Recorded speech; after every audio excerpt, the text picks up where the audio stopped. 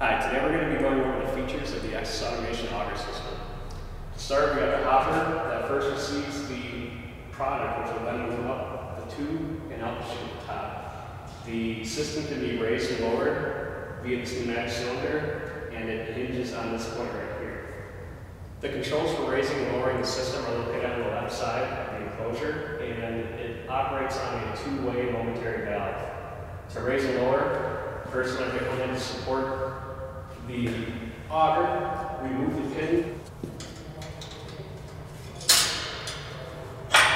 and as I'm lowering, we want to support then the auger system. Once in place, take your pin.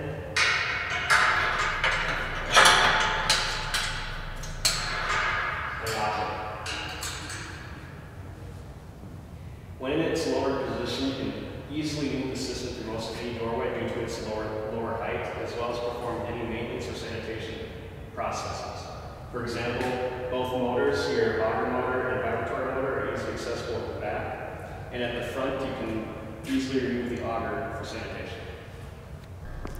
Sanitation and maintenance of the auger shaft is completely toolless. To remove the shaft, first remove the clamp that's holding the bushing together. Set that aside, and you pull the shaft straight out.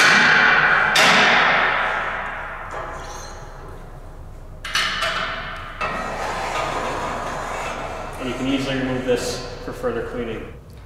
In addition to removing the shaft for sanitation, you can easily remove the feed tube with the band clamps on each end of the tube. Raising the auger, system is the exact same operation as lowering it. Again, remove the pin,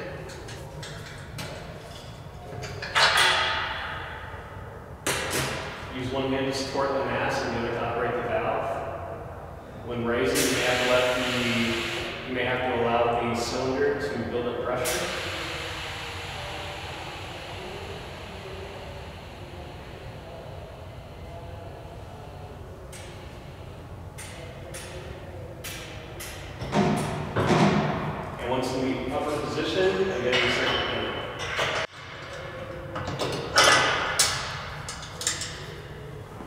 The hopper is currently in open configuration, which can be a hazard to work personnel. So guards that may be placed over the top to prevent any injury.